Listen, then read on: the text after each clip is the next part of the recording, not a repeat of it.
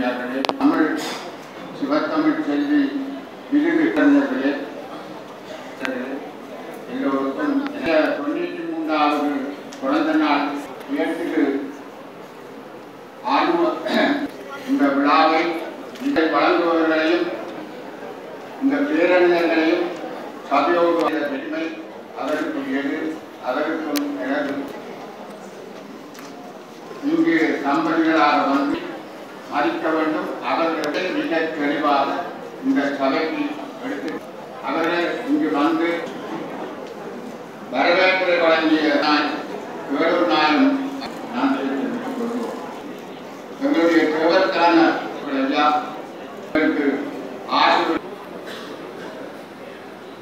அவர்களுக்கும் எவ்வளவு சிரமத்தின் மத்திய அவர்களை நான் கேட்டுக் அடுத்துடன்